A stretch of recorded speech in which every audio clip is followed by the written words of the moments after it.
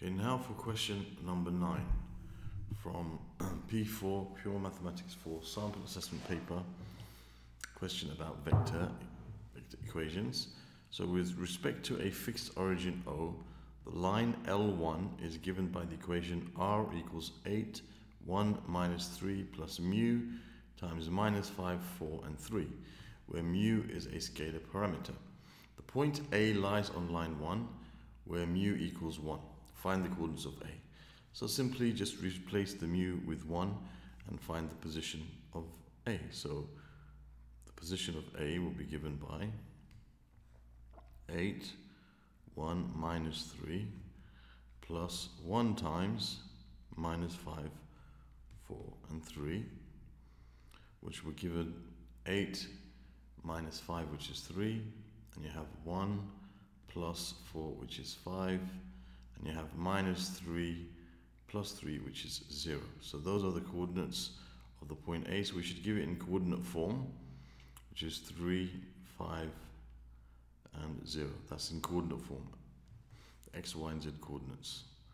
Okay then it says the point P has position vector 1 5 2 the line L2 passes through the point P and is parallel to the line L1 so if it's parallel to the line L1 then its direction will be the same direction as line 1 and the, the, the, the vector equation of the line the first vector is basically a point on the line any point on that line.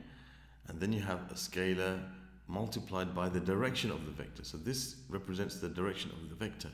So if the line L2 is parallel to line L1 this will be exactly the same it could be the same in terms of it could be a, a multiple of it. Okay, it could be you know the negative version of it. Doesn't matter, but basically it will give you some. It will end up giving you the same vector if you were to factorize out the factors. But all we have to do is just take this as its direction, and it goes through the point P. So we know that this is the position vector. So that's the first part of the vector. So we can say that for line two. I'll just label it here so that when we see it we'll be able to remember.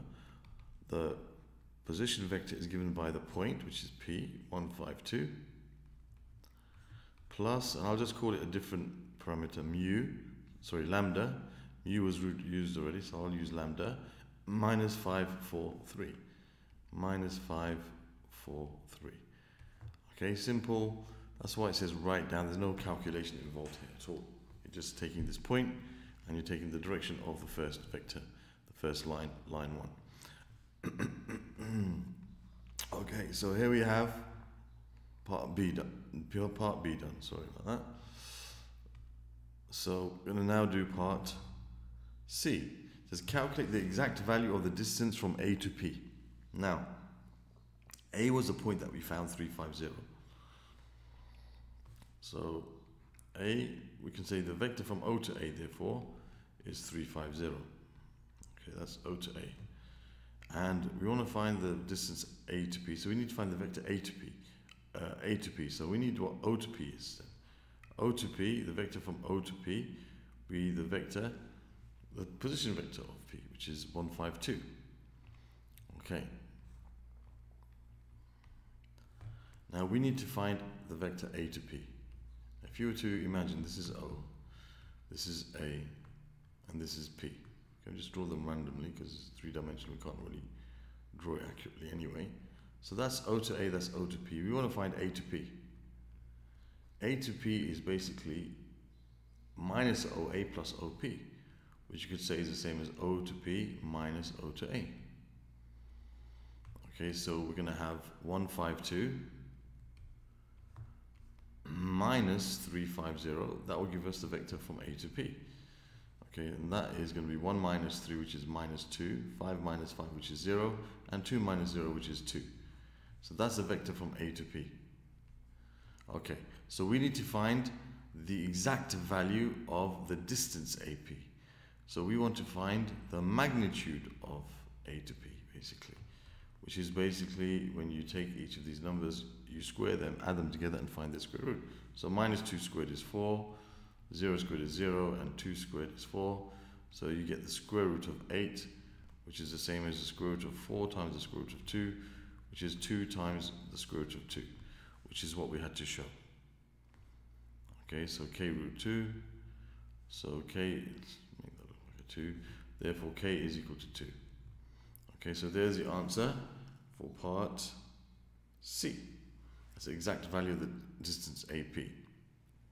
Now, next question is the find the acute angle. Well, they tell you that the acute angle between AP and line 2 is theta. Find the value of cosine theta. Okay, so basically when we take, we're going to use this rule here to find the angle between two vectors. And it's basically the dot product of the two vectors is equal to the magnitude, the product of the magnitudes of the two vectors times the cosine of the acute angle between them. Okay, so this is um, when they are tail to tail. Okay, so we need the vector from A to P. And we need to find the vector, the direction of line 2. Okay, so we know that um, A to P we found was minus 202 minus 202 and the direction of line 2 is the same as the direction of line 1 which is minus 543 because it's parallel to the remember minus 5 4 and 3 so the dot product of these two vectors is given by when you multiply them together in this fashion which I'll show you write them next to each other like this with a dot between them and that's equal to the magnitude of A which was 2 root 2 the magnitude of this vector times the magnitude of this vector which is the square root of 25 plus 16 plus 9 times cosine theta. So when you multiply these vectors as a dot product or scalar product, you got minus 2 times minus 5, which is 10, plus 0 times 4, which is 0, plus 3 times 2, which is 6, and that's equal to 2 root 2 times the square root of, that's 25, 34, 50. Okay, and that's times cosine theta. They want the, the value of cosine theta. So cosine theta is going to be the 16 divided by, and that's going to be 2 times root 100, okay, which is 2 times the square root of 100, which is the same as saying 2 times um, 10, which is 20. Okay, so that gives us 16 over 20, so cosine theta is equal to 4 fifths, and we know it's positive um, because the acute, the acute angle, the cosine of an acute angle will give you a positive ratio. So if the answer came out as negative, that would have been um, the obtuse angle between them. We, they want the acute angle between them. Okay, so if it did come out as negative, you'd write the answer as positive 4 fifths because we want the what, what it would mean then is the angle that we would have found would have been this angle here when they're asking us for this angle, the acute one. So we'd have to just write it as a positive value, the cosine of that angle. Okay, then it says a point E lies on line 2. Given that AP equals PE, find the area of the triangle APE. Okay, so now let's make a little diagram. We know the two lines are parallel, so let me draw two lines which look parallel to each other. Okay, just try to make it look parallel. This is line 1 and this is line 2. And the point E lies on the line 2, given that AP. So let's just go back here um, just to make sure. We've got A and P. Now it says A is on line 1 and it says P is on line 2. Okay, so A is on line 1. So let's say A is over here somewhere and P is on line 2. Let's say uh, P is over here somewhere. Doesn't matter where you draw it really. Okay, and we know that the angle between those two lines, acute angle, is called theta, and we know the value of the cosine of theta. Okay. Then it says given it says point E lies on the line 2. So E is on the line here somewhere. Okay, given that AP equals PE. So AP equals PE. So you have an isosceles triangle So basically PE would be somewhere, E might be somewhere over here. And that length and that length are the same. Okay, find the area of the triangle APE. So let's just close this up. So we have this isosceles triangle. And we know that AP, I think we found what AP was. The length AP, yep, the distance AP was 2 root 2. Okay, so we know that this is 2 root 2. And as PE is the same length as AP, this is also 2 root 2. Okay, so we can use uh, the, the area of a triangle is a half AB sine theta. Now, we know that cosine theta is 4 fifths. Therefore, sine theta must be 3 fifths. If you remember, if we can just draw a little right angle triangle to represent theta, it's not the same as triangle. This it's just to work out the ratio of the angles. Cosine theta is 4 fifths. So this is a, you know, using Pythagoras, you find that this is 3. So the sine theta must be 3 fifths. Okay, so you can say the area is a half times, you're going to have 2 root 2 times 2 root 2, which is 2 root 2 squared, times the sine of theta, which is 3 fifths. So the area of this is going to be a half times 4 times 2 times 3 fifths they cancel out so you're going to have the area is 12 over 5 12 over 5 mm, let's make that a bit neat which is going to be 2 and 2 fifths so you can say 2.4 units squared. So that's the area the area of this triangle okay? All right then it says part F find the coordinates of the two possible positions of E. Uh, okay, so it's possible that AP and PE, it's possible that E could be over here somewhere, where that length is the same as that length. In which case you'd have the triangle APE looking like this. Okay, that's also possible, and of course it would be the same area because the sine of theta here will give you the same value as the sine. The sine of this angle here will be the same as the sine of that angle because they want the sine of an angle is equal to the sine of 180 minus that angle. So it give, of course give you the same area as this triangle will give you the same area as this triangle. So yeah, it's possible for E to be here. So let's call this E dash and let's call this E. So it says find the coordinates of the two possible positions of E. Okay, so basically the coordinates of the positions of E will be given by their position vector. So we're basically asked to find what O to E is. Now, O to E would be O to P plus P to E. O to P plus P to E. Right? If we could get to P and then from there we can get to E, we're going to find the position vector of E. Okay, so we know what O to P is already. Okay, we know what O to P is already. O to P, it was in the other page, it gave us the position vector of P, which was 152. Okay. Okay, that's O to P. So we know O to P is 152. So we can say O to P is 152.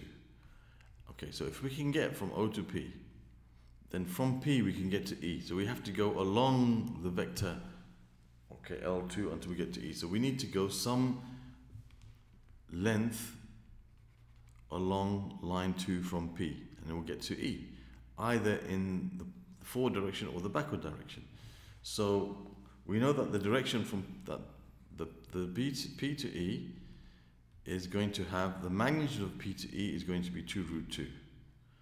And the magnitude of P to E dash, okay, is going to be minus 2 root 2. Okay, that's the magnitude. Oh, sorry. They'll both have the same magnitude. Okay, the magnitude will be the same of course, it'll be 2 root 2, but one will be in the positive direction, one will be in the negative direction. Okay, so we need to find a vector that's going in the same direction as line 2, but with a magnitude of 2 root 2. So let's look at the direction of line 2. The, line, the direction of line 2 is basically given by the vector minus 5, 4, 3. Minus 5, 4, 3. Okay, now this does not have a magnitude of 2 root 2. We need to have a vector that's going in the same direction as that, minus 5, 4, 3, the same direction as that, but with the magnitude of 2 root 2.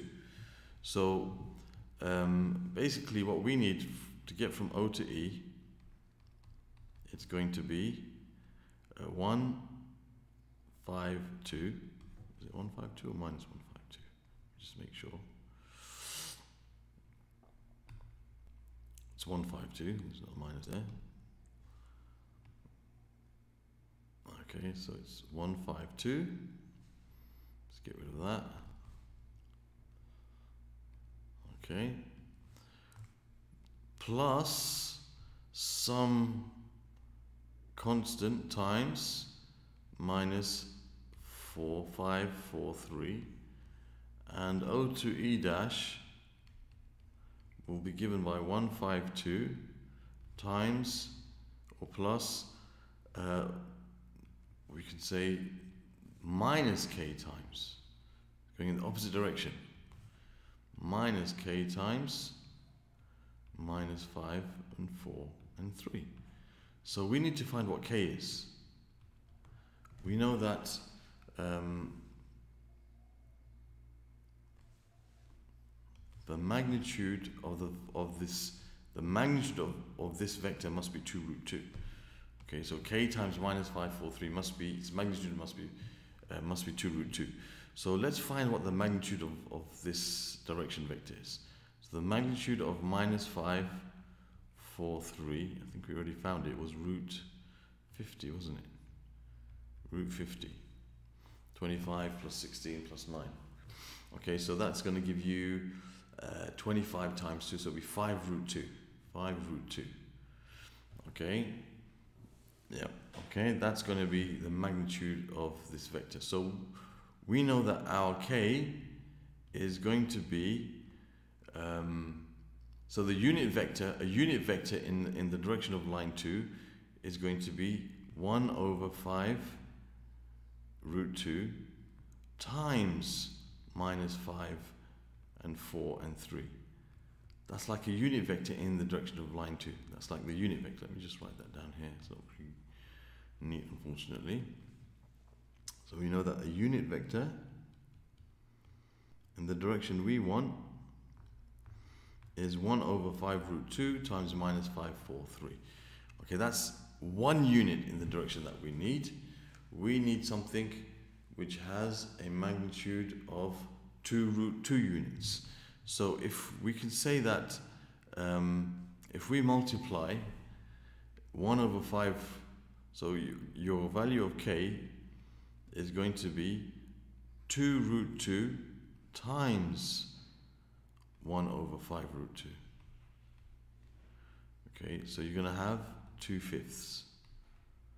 Okay, so the value of k is going to be 2 fifths. So 2 fifths times this vector will be a vector which has a magnitude required of 2 root 2 because 2 root 2 uh, times 1 over 5 root 2 gives us, see 1 over 5 root 2 is 1 unit, so 2 root 2 times that will give us something with a magnitude of 2 root 2. So the k is 2 fifths, so I'm just going to extend the page down here. Really should pay, turn over, but I've got everything written down here so it's easier.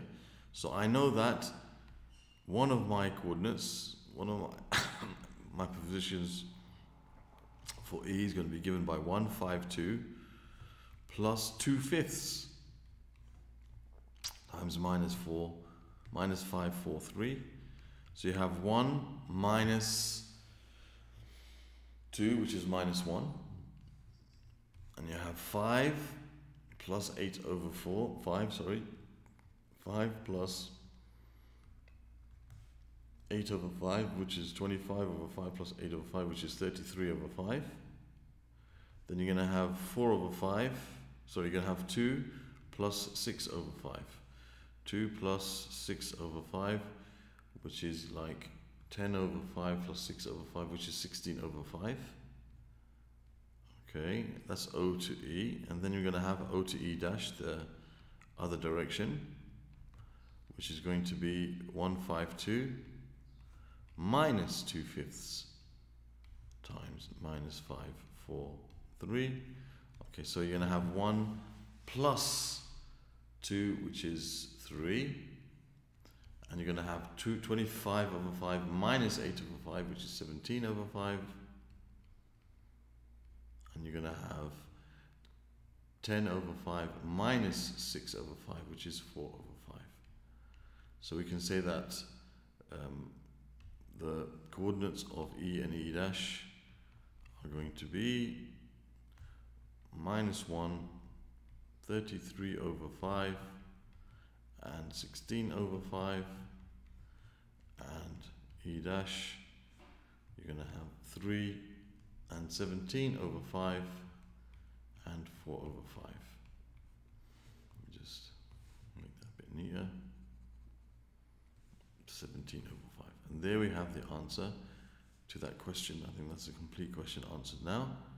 And those are the two possible positions of E Okay, so there we have the question number nine and the whole paper now being answered.